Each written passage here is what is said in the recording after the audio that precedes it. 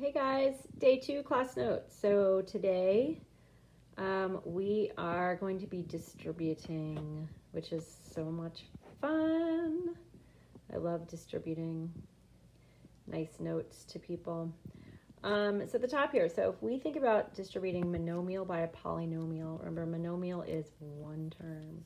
So if I look at my one example here, my first example I have Outside the parentheses, I have an x, that's monomial, and I have a really a binomial, but it's a it's basically more than one in the parentheses. Um, and if you have exponents uh, inside the parentheses or outside the parentheses, don't forget the product rule, which I have listed up here. So if I have x to the a times x to the b, I my product rule tells me that I can simply add those exponents. Okay, let's go for it. So if I look here, um, a lot of you have learned about winking and smiling. So if I have my x times print, open parentheses x plus 4 close parentheses, I'm going to wink basically x times x, which is x squared, and then I'm going to smile, um, which is x times 4, and I know x times 4 is just 4x. So some of you probably learned it more like this, wink and then smile like that. Whichever way works, it's great. Um, so when you have a monomial outside, and then here's another example that now you have three terms, uh, which would be a trinomial if you think about it. Um, I'm to be probably doing, I'm going to do, uh, looks like maybe two winking, two winkings, two winks, and maybe a big smile here. However you think about that. But um, this ultimately would be 15m to the fifth power, right? Because I'm adding those because of my product rule. Uh, minus 5m to the fourth power, which is a quartic, right? And then I have minus 35m to the third power. Okay? So now it's your turn. Um, if you think about you always have to have these in standard form. So if I look at number one, nothing too tricky there. I have um, k squared because I'm multiplying k by k. And then I've got 9k, but I'm subtracting it. So I can wink and I can smile. Here, I can wink and I can smile. Here, I can wink and I can smile. I know b times b to the fourth, I'm just going to add um, 1 exponent, if you think about it, to get um, a negative 6p to the fifth. And then I'm going to multiply um, 8 by 6 to get 48. And I have two negative, um, a negative coefficient here, a negative constant here. So I know I'm going to have a positive now. 1p. So, um, wink, smile. So as you go through this, um, again, nothing uh, inordinately tricky here. So I probably won't go through every single one together. I'm just trying to see if there's anything that's super tricky. Um, the, you know, one of the biggest things, if you have more than two terms inside the parentheses, just make sure you distribute each one. Watch your signs each time, especially if you have a negative outside, right, like over there, and a negative inside. Things are going to get a little trickier, right? Like this one. Negative 3m times, if I think about negative 2n here, I know I'm going to have to have a positive 6 n squared. So just look out for the signs. That's the biggest, my biggest piece of advice. Um, anything else kind of tricky here? You got lots of um, XY here, and then you have a bunch of stuff. So just make sure that you are really careful when you are multiplying and distributing all of these out, that you account for all of the x's and all of the y's. And anything tricky there? Well, you got lots of p's and q's. Here, oh dear, it's getting big. So again, this is just really about paying attention. So I have 5 times negative 2, so I have a negative 10 here. And then you have an r to the second power times r to the second power. I know it's going to be r to the fourth power. And then you have an s left over from there, an s squared. So, again, nothing too tricky. Just watch out for the variables and the signs. Okay.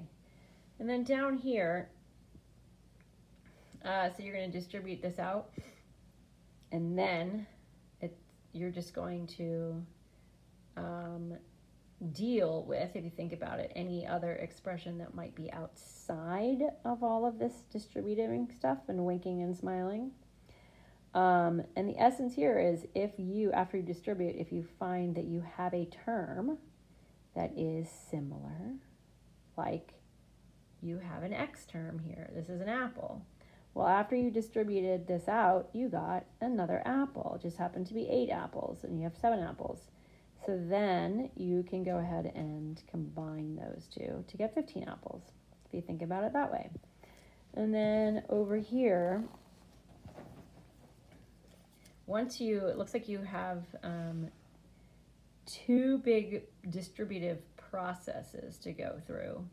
After you go through these processes of winking and smiling, and in two cases, you are going to end up with, oh, it looks like we have an apple.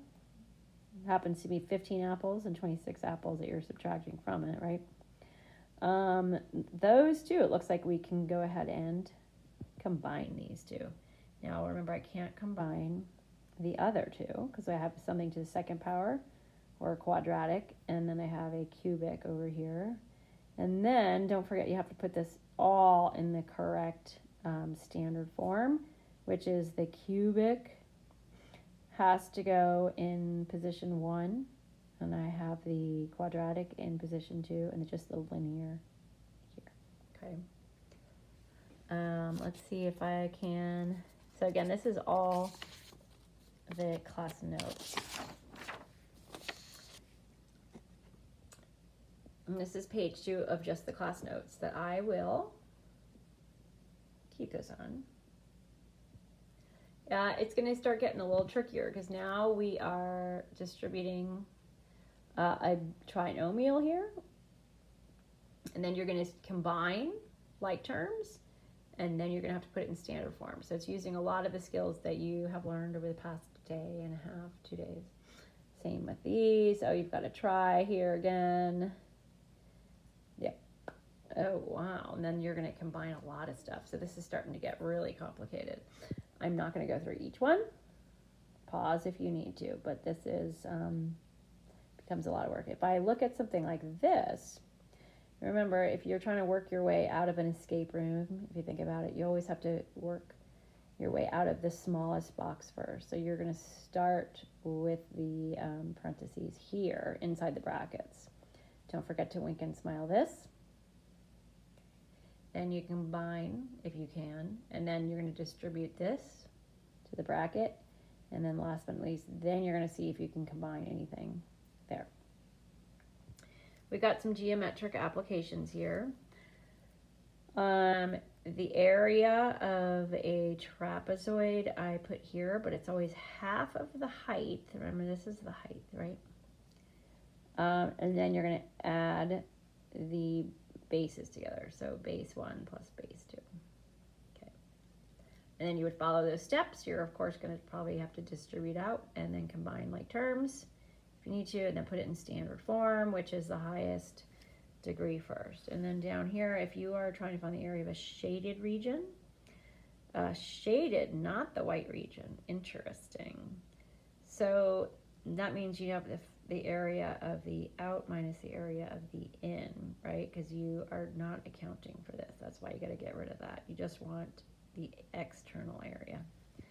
Um, so you're going to have to find the area, right, again, of these two shapes, these two um, shapes and then subtract. Okay.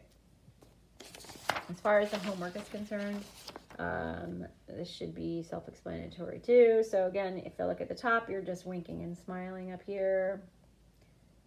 Wink and smile, wink and smile. Let's keep going. Watching out for all your product rules. You're going to use a lot of those product rules here. Uh, here, you're going to have a wink and smile, but then you're going to see if you have another like term and then combine them. Don't forget you have to write them in the correct degree order and standard form. Same over here. This is all self-explanatory. Okay, now we have two winks and smiles. So you're going to distribute two times and then see if you can combine like terms.